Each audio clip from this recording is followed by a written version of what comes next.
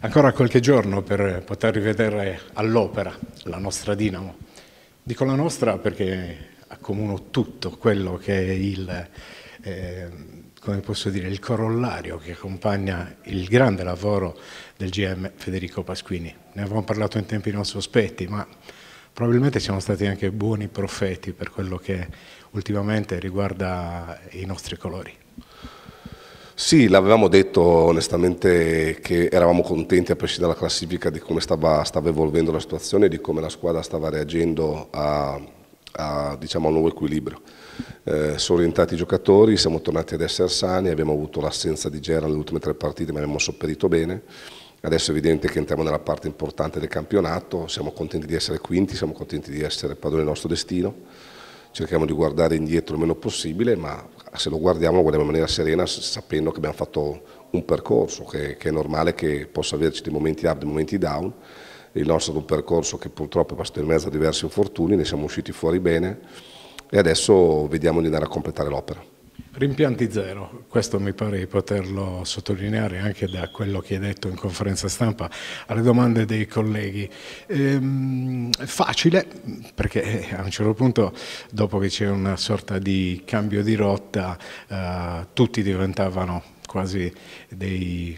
dire, dei, premonitori, però non era così perché, perché bisognava fare i conti con un cambio in corsa importante perché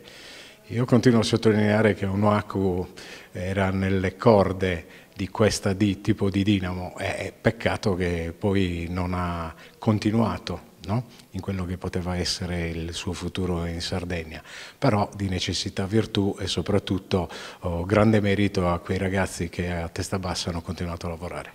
Sì, devo dire che alla fine non conta il valore oggettivo del giocatore, ma conta quanto il giocatore può essere funzionale per il gruppo eh, è evidente che Onoaco è un grande giocatore, non, non, non, mi sorprenderei se facesse una grandissima carriera, però per, per, quella che era la situazione di quel momento lì, un giocatore come Stephens ci ha permesso di avere degli angoli offensivi e delle qualità a livello difensivo tali per cui il talento di ogni singolo giocatore eh, ne ha tratto vantaggio, cioè fondamentalmente Oggi questa è una squadra che allarga molto il campo, questa è una squadra che gioca leggera perché sa che può correre, ma dall'altra parte sa che può averci due pivot, Stephens e Diop, che sono capaci di bloccare 4-5 volte eh, la palla durante il piccherone nella stessa azione. E questa è una cosa che poi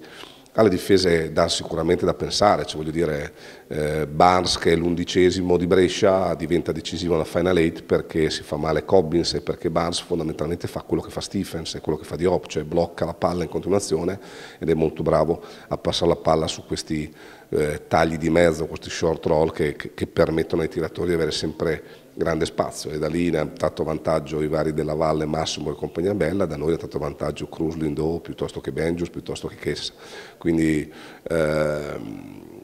sicuramente in questo momento stiamo bene con Stephens.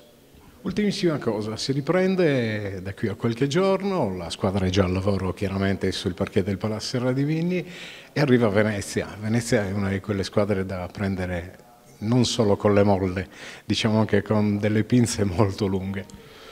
Sì, sono durissimi, è un test eh, chiaramente molto molto pesante, eh, vengono comunque da un cambio epocale da un punto di vista tecnico-tattico perché l'esonero di Raffaele chiaramente porta a, a, rivedere un pochettino tutto, è evidente che come capita spesso quando ci sono questi cambi dell'allenatore ci sono giocatori che hanno vantaggio, giocatori che hanno svantaggio, però una reazione nervosa c'è sempre, per cui dopo due settimane e mezzo che si sono trovati fermi anche loro perché sono usciti subito in Coppa Italia con la Virtus, mi aspetto una squadra che verrà qua per fare una grande partita, per loro una partita direi quasi chiave per avere una posizione sulla griglia alla fine che non sia ehm, diciamo complicata, cioè non andare in bocca subito a Milano e Bologna, per cui mi aspetto che la giocheranno veramente in una maniera eh, molto dura, molto intensa, sarà subito un banco di prova importante per noi per capire se siamo ancora quelli che hanno chiuso prima della finestra e abbiamo già riallacciato i fili e possiamo andare avanti o seppure dobbiamo eh, rivedere alcune cose e ripartire con calma. Eh, I ragazzi stanno lavorando bene, questa è la cosa importante, per cui quando abbiamo salute, quando siamo al completo, mh, mm, se recuperiamo Gerald, eh, insomma, voglio dire, diventiamo molto intriganti, per cui eh, credo che sarà comunque a prescindere un bello spettacolo, c'è il ritorno di Spissu qua, sarà una bella atmosfera, sarà un sabato sera, insomma ci sono tutte le cose per, per divertirci. Noi ci saremo. Ah beh, noi, noi ci stiamo sempre.